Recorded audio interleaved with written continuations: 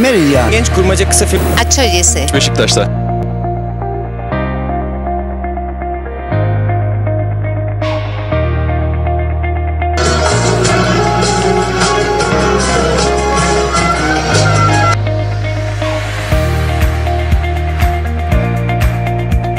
Hoş geldiniz. Merhaba.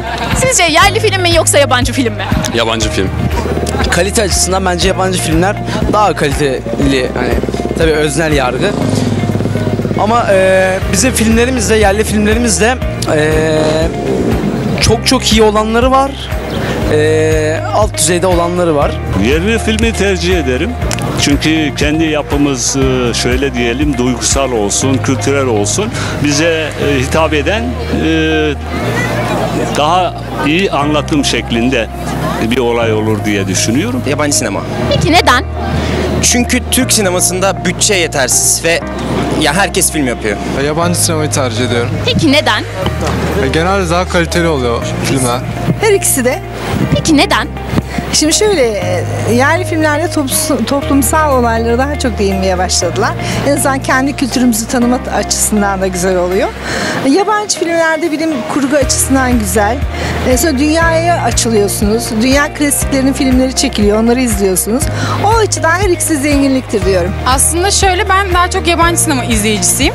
Ama yerli sinemada da e, son zamanlarda böyle büyük ihtimal teknolojide ilerlediğinden dolayı güzel şeyler çıkartıyorlar. Onları da takip ediyorum yani. türünden türüne değişir aslında. Ee, yani dram filmleri aslında Türk yapımcılığı olarak e, güzel, başarılı filmler çıkartıyorlar.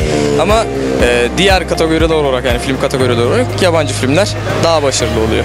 Mesela. Özellikle aksiyon ve bilim kurguda yabancı bence kesinlikle. Yabancı film. Peki neden? Ee, yabancı film daha hoş. Daha güzel çekim mesela sahneleri nasıl söyleyeyim korkunç insanı daha da çok etkiliyor. O yüzden e, tercihim yabancı. Yabancı sinema. Peki neden? Konuları daha geniş, daha farklı. Türk sinemasının konuları bayağı bir dar. Yani ben öyle görüyorum. Hani iyiler var ama çok daha az diğerlerine göre, yabancıya göre. Yerli sinema sektörümüze tavsiyeleriniz kendinizce neler olacak? Bence özenti olmamak ya. Aslında birazcık kendi özünü yansıtabilen bir toplum olabilsek, hani biraz bu özentilikten ayrılabilsek çok da güzel şeyler çıkacak. İnanıyorum buna yani. Romantizm ve savaş filmlerine ara vermeliler bence. Yani senaryolarını biraz daha düşünerek ve akıllıca yapmaları iyi olur.